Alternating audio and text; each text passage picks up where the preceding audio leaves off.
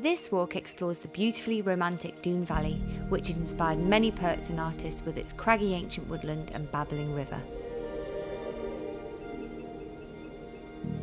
Park at the National Trust car park in Malmsmead.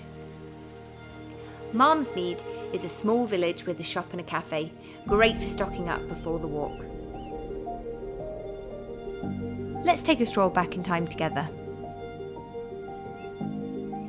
From the car park in Malmsmead, the route passes south down the road following Badgworthy Water, through ancient woodland and over open moorland to the medieval village.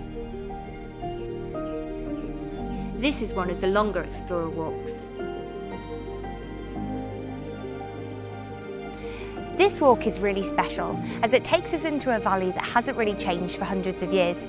Come on, let's take a walk back in time.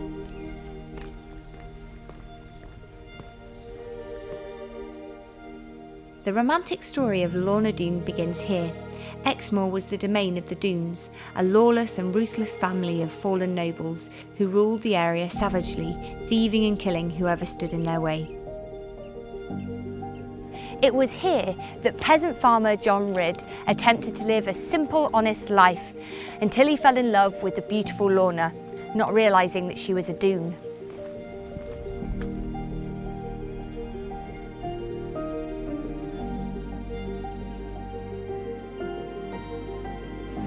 In the novel's heyday, this place would be teeming with people and schoolchildren seeking out the setting that inspired Blackmore.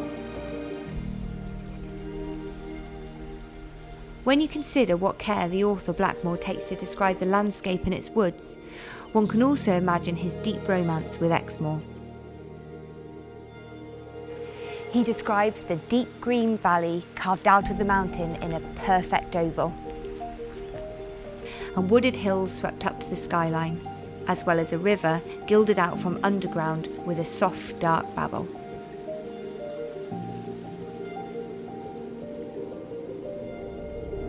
It's wild, it's raw, it's rugged and remote. That's what's to love here.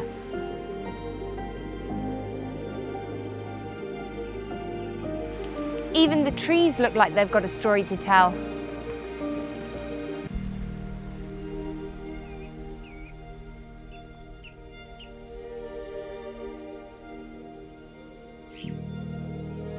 The deserted medieval village survives well in an area of open moorland. The reasons for desertion reflect declining economic viability or population fluctuations as a result of the Black Death. This well preserved site provides important information on the diversity of medieval settlement and farming economy of the time. You could walk these valleys for days. When you've soaked up all there is to see, it's a short walk back the same way. What a glorious walk to imagine such a great romance. If you'd like to explore more wonderful settings, then please visit exmoorwalks.org and join me for another.